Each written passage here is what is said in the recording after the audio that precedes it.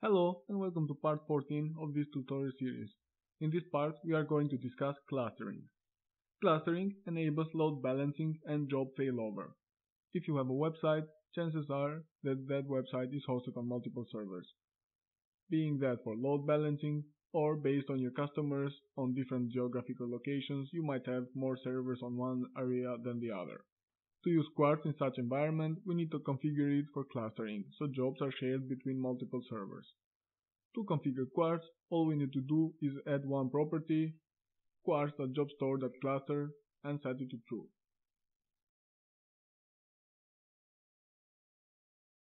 Previously, when we configured our SQL Server job store, we forgot to set a driver delegate. The driver delegate is used for database specific operations. Each database type should have its own implementation of the delegate. The delegate will handle things like index management, blocking operations when multiple concurrent triggers are set on the same schedule, etc. For our case, we have an SQL Server database, so we need to use the SQL Server delegate. To set the driver delegate, we use the job store driver delegate type and we set it to SQL Server delegate. Once the configuration is done, we need to go to our home controller and add some more triggers so we can see how they are shared between multiple servers. Let's copy paste the same trigger. Let's make it trigger 2, give it an ID trigger 2 and a parameter of trigger 2. Let's make it trigger 3 and let's give an ID of trigger 3 and a parameter of trigger 3. Let's schedule the new triggers.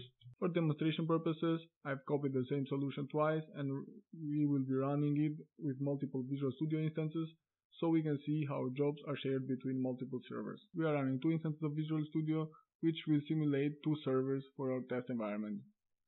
Let's start our simple job. And we can see that the job is being executed on one of the servers